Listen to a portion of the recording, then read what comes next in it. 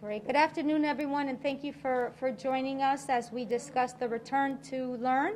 For more students, I want to welcome and thank uh, Mayor Bronin for joining us and for his continued partnership and support, as well as uh, his entire team, specifically our Health and Human Services Director, Ms. Liany Arroyo, whose thought partnership and expertise has been key throughout this entire year.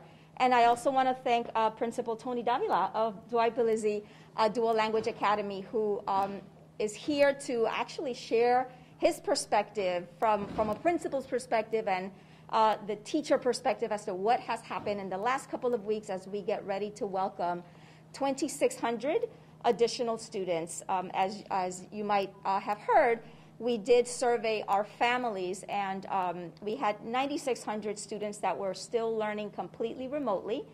4,800, so about half of those families did respond to our survey, and 2,600 of uh, those students have confirmed that they will be returning on Monday. And um, we started transitioning students back in at the beginning of March, beginning with our K through 9 students who were hybrid they returned to in person every single day, followed the next week um, in, on March 8th by our 10th to 12th graders who transitioned from hybrid to uh, every single day. And now here we are welcoming, uh, giving opportunity for remote learners to come and join us every single day as well. Um, you know, I know that Director Arroyo is here to speak to uh, some of the questions that are out there with regard to the distancing, um, we've, we continue to implement our mitigations, which have been quite successful since the beginning of the school year. Uh, in partnership with uh, Trinity Health and St. Francis, we've been able to offer a vaccination uh, program for, for our staff. Over 2,100 of our staff have been vaccinated. Actually, at this moment, they're receiving their, um, their second dose of the vaccination. And so we continue to create um, an environment that is safe for students and for our staff. We know that in person learning is the best learning, and we know that many of our students are not meeting success um, with remote learning, as evidenced, for example, by our high chronic absenteeism rates, right, and our, and our lower engagement rates. And so, to the extent possible, we're going to continue. We're going to continue to offer the opportunity for students to uh, come and join us. And so, I'm going to ask uh, Mayor Bronin to also say a few words. Thank you so much, Superintendent. Uh, thanks, uh, Principal Davila, and to the entire team here at uh, Bellizzi, uh, who've been working in uh, creative ways uh, with incredible commitment to our kids throughout this year, trying to do everything possible to make this incredibly difficult year a little bit easier for our kids, and to have the opportunity now to welcome every child uh, who is ready to be back in the classroom in person, back into the classroom, is a tremendous step forward. Uh, I want to give a, a, a, really big uh, shout out and thanks to the superintendent and to the entire team of educators and administrators and staff at the Hartford Public Schools uh, because they have kept in person learning to some degree open throughout this year uh, in, in, a way that many districts in our state and around the country were not able to do to maintain that five days a week of learning for those who opted in for the first uh, part of the year, then shifting for hybrid, and now offering the opportunity for every child to be back in the classroom. Uh, as the superintendent said, there is no substitute for being in that classroom with your teacher, with your peers, learning face to face, having not just the academic curriculum, but the social and emotional engagement that comes with being physically in a classroom. So uh, I, I want to say thank you to every educator and every member of the Hartford Public Schools team who is part uh, of this transition back, return to learn. Uh, as the superintendent said, uh, our Health Director Liany Arroyo, has been uh, central to this effort to make sure that we are being as responsible and careful as possible throughout the year and also doing everything possible to give our kids the best learning opportunities we can.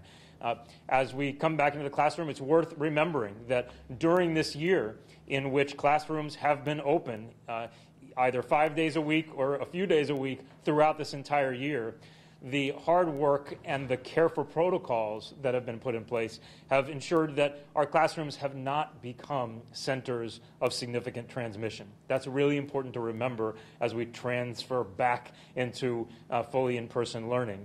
That uh, throughout this year, even when the numbers were significantly higher than they are today, uh, our classrooms were not centers of mass transmission because wearing masks matters, washing hands matters, maintaining uh, you know, your, your, distance from crowds and avoiding physical contact, all of that matters. When you're in an environment like a school where the protocols are clear, where everyone is respecting one another and wearing their masks, uh, we have ample data at this point that we can protect against the spread of the virus uh, in our school community. And, and, as Superintendent said, we now, uh, thank goodness, uh, thanks to the tremendous work of many scientists and thanks to the uh, partnership of, uh, of our hospitals uh, and many others, we now can say that our, our team at Hartford Public Schools has had the opportunity to be vaccinated as well. So again, a big thank you to the entire team. Uh, my my uh, huge thanks to the superintendent for your leadership uh, on.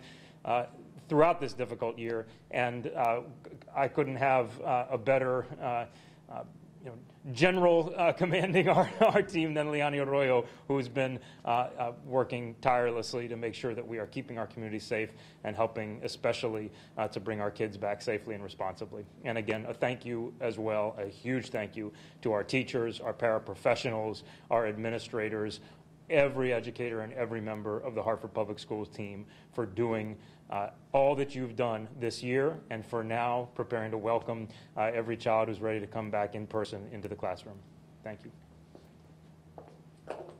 So I'll ask uh, Director Arroyo to uh, share um, her thinking and her um, experience with regard to uh, distancing. I know that that's a question that we continue to get, and although we will maintain the six feet of distancing in the cafeteria. I know that there are other questions that we continue to get.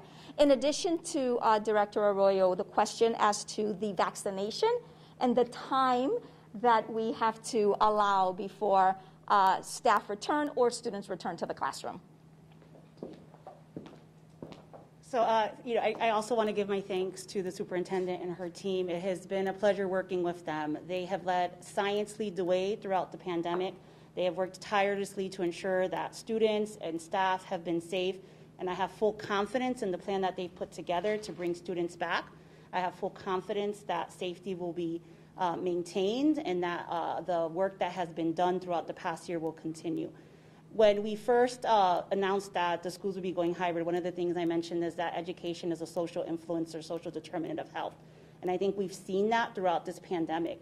And that is why it is critical that our students, as many students as possible, get back into these buildings and get ready and get back to learning um, with their colleagues, uh, with their students, uh, with their friends, to be able to really have that full experience of being in school, not just the education, but that social emotional piece as well that is critical for our children. Um, as has been mentioned, uh, they are committed and are going to be able to maintain the recommendations of the CDC with the three feet in the classroom and the six feet in other areas. Um, but I also think it's important to understand that that is one piece of a larger puzzle as it relates to coming back into a school building. There's uh, uh, work around air quality, there's work around masking, there's work around hand hygiene, and all of those things have been happening throughout the year. So, again, I have the utmost confidence that those things will continue and the health department will remain in partnership with the school district to ensure that if there are any questions or changes, or if the situation changes, that we again let science lead uh, the way to ensure that our families and our staff are safe. As it relates to um, vaccinations, as you've heard, uh, we have many, uh, large number of the teachers and staff have chosen to be vaccinated. What we also know is that more research has shown that one vaccination does confer a large, a large amount of immunity. And so, again, I think it is the right time and it is safe to bring both staff and our students back into a building, and we must maintain those mitigation policies that we've had. Our numbers are, are lower than where we were, um, I think, when we started school, um, uh, when we went hybrid, and so we're in a good place to do this and in a good place to maintain it for the rest of the year. Thank you. And um, I, I'd like to ask Mr. Uh, Principal Davila to just speak to us um, about his experience and his team's experience. So, just to give you a little context, uh, Dwight Bellizzi Dual Language um, will be the school with the highest number of students that are returning in person. I believe he, uh, Principal Davila, over 70% of your students will be returning. And um, it is a school that services more than 40% of English learners. And clearly, it has been a collaborative effort. And so, for Principal Davila to just speak to some of his learnings and his efforts here with his team. Uh, good afternoon, everybody. Um, so, to talk briefly, um, you know, this, this has been a really challenging couple of weeks, uh, for sure, to say the least. Um, and so, you know, in kind of reflecting on what Superintendent uh, Torres Rodriguez was talking about, we didn't know that um, we were the, one of the largest schools to have kids returning and 100, over 150 students coming back on Monday. Um, and I'm going to tell you, uh, I can assure you that it wasn't a target that we were aiming for. You know, um, the district has a challenge. It's March Madness attendance challenge. And so we have to lower our chronic absenteeism and raise our attendance. That's a marker that we're intentionally working towards. This is something that, to be honest with you, um, it's been a little overwhelming because the figures that we estimated were quite conservative. We really expected to have about maybe 50, excuse me, 50 students come back. Um, and so we reached out to our teachers um, because we wanted to make sure that every single student was um, contacted and we talked to every single parent. And so as we talked to our teachers about those conversations, we let them know that some of our parents weren't going to be comfortable with this transition. Uh, we let them know that they need to um, approach the parents with a little, uh, a little sensitivity. Um, and, you know, in speaking with our teachers, um, they're really excited about the kids coming back. Um, it's really difficult to engage and connect with your students and teach them online. Um, it really is an activity that is best done face to face, in person. Um, and so we wanted to make sure that we weren't imposing our, you know, our opinions on them, but letting the parents kind of decide what was best for them and their families. Um, and so um, the teachers have been instrumental throughout the entire process. Um, there's been so many details as we sit with the district um, and they give us what the CDC guidelines are. Um, you know, filling a building with uh, 400 students and complying with every guideline, making sure that everybody is safe, is immensely challenging. But luckily, we have teachers that think innovatively.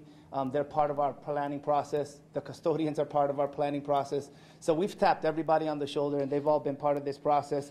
You know, and finally, you know, uh, I think our families, you know, um, have been instrumental in this as well. You know, we have a pretty active SGC and parents that are always giving us their opinion. We're open to them, but uh, a lot of what we've heard mostly is um, our, their kids aren't doing well at home in terms of the learning.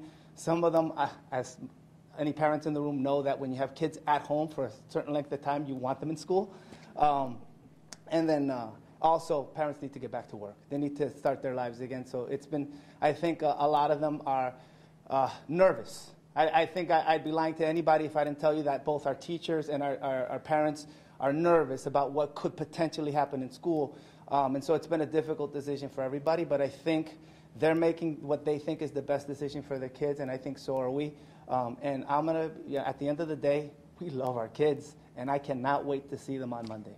Thanks.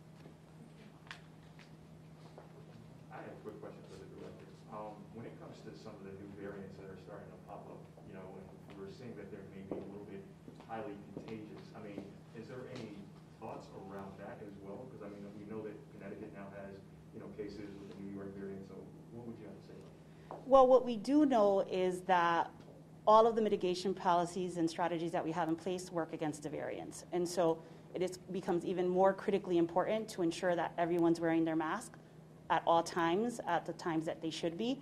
It becomes more important to keep windows open, have the air filters going. So all of those things become important. So I think we will continue to look at the data see what happens. But at this point in time, the mitigation strategies that we have in place are the right ones, even against the variants. I have a question actually for the principal. Okay. Sure. And superintendent, you can jump into this too if you want. You kind of touched on this a little bit. Parents naturally are, ner- you know, people are nervous about this time. Yeah. You know, what are those conversations that maybe parents could be having with their kids and within the family unit, kind of leading into Monday? Any words of advice Yeah, so one of the, that's a good, great question. Um, one of the things we've been talking to our teachers about is to, um, in, within their Google Classrooms, because all of our students have a Google Classroom account, and so to put enough information on there for them to share with their parents, but also sending out phone blasts to parents about talking to students about wearing their masks, about social distancing, sanitation, um, all of that. We also, um, at our school, we've gotten all their kids their own material so they don't have to share. So making sure that they're talking to kids about not sharing materials, not sharing food. I think everything that's been kind of um, already talked about, you know, through the health department, through the CDC, just kind of having parents have those conversations with their kids. Even kind of more personally, not beyond even just the guidelines, Yeah. but that it's going to be okay, you know? Yeah. Can you touch on that a little bit, kind of the emotional Yeah, element of it? so that, and that has come up. Um, I think um, a small population of our parents have really had their children be nervous about coming into school. So our social work department has been awesome about helping parents have those conversations with our students um, in terms of just helping them to know that we're doing everything in our power to keep them safe and that, you know, their chances of being infected in, a, in this environment is not very high. While I have you at the mic, can you just say and spell your first and last name? so Sure. On camera? It's uh, Anthony Davila. Uh, D-A-V-I-L-A is the, my last name. Say your last name one more time. Davila? But as far as, again, as far as, what, what do you, uh, is the trend kind of going up, hearing from parents, teachers, and kids, I mean, that feeling secure in this environment as more vaccines come out and and it's getting Yeah. warmer? I mean, what- anecdotally, what are you hearing? So, and, yeah. Better as- as- Than you? So I, so I think, uh, you know, for the people that follow um, the, the, the stats, I know that it's going up. It is a concern. You know, I think you need to track it more than just, because that's the thing. We get it, like, some of us watch it every day, every week. So I think we also need to watch it over time um, because I think the long-term um, trends say something also. But for our parents, really, they're just kind of still listening. They're not following the stats. They're following, you know, the recommendations from the CDC, the doctors that speak online. We've had, um, I know that in our town halls, we've had medical professionals speak to it. Uh, I think it's been really helpful for the teachers because the town halls have been for us, but they've also been for our community members and our families. So I think just hearing their recommendations really kind of uh, put us at ease that we're putting the right things in place. No, but hearing from parents, you, you, you. Yeah. Do you, do you feel they're getting more at ease? Because, I mean, you got, you got a high number coming back, so, I mean, what are you hearing? Well, but that's so, so that's the thing. That that to me tells me, I ex- like I said, I didn't expect for parents to be so enthusiastic to be sending their kids to school. I'm going to be honest with you, right? So them sending 150 of their kids, 100 plus, 150 plus, to us, that to me speaks volumes more than any other, you know, one-to-one conversation that I could have. So Anthony, on Monday, when that bell rings, what are you most looking forward to? Oh, for me? Yeah. oh my God, just greeting my kids, you know, just being able, because they're going to be excited. I, I, I mean, even when I, um, when I pop into an online classroom to do an observation and they see my face, it's, hi, Mr. Davila, like they, they, that's, you know, all the time. So I know that when they come here on person, I think the biggest challenge is going to be to stop them from hugging me. I had a question for the superintendent. You know, I've been in conversations with uh, the Hartford Federation of Teachers, and they said that, you know, there's still a little bit concerns, like they were hoping that all teachers and staff would be vaccinated by a certain time, you know, so we're just asking for more time to kind of get everything prepared. I mean, what would be your response to some of their concerns? Because it seems like they are still on the fence about now having remote-only learners return. Yeah, so I will um, reiterate what we've been reiterating since early February. One is um, the recommendation, first and foremost, from the CDC, from our local health um, officials and state officials with regard to not having to wait. We don't need to wait for the second vaccination before having students come back um, because it's not just about the vaccination, right? We heard Director Arroyo speak to it's the layering of one mitigation on top of another that really makes it a comprehensive approach to keeping everyone safe. And the other piece with regard to um, not being ready, um, and, and Principal Davila can, can speak to this, but we have provided uh, support throughout the last couple of weeks to ensure that everyone is ready. And it has been a team approach from, from every school up until the district level, making sure that our custodians you know, have brought in the additional desks that are necessary. Uh, Capital Prep, for example, just the other day received an additional 10 uh, tables for their cafeteria. And so, um, providing the supports, which we have done and will continue to do, we modified schedules to have half day schedules this week for um, allowing staff additional time to prepare.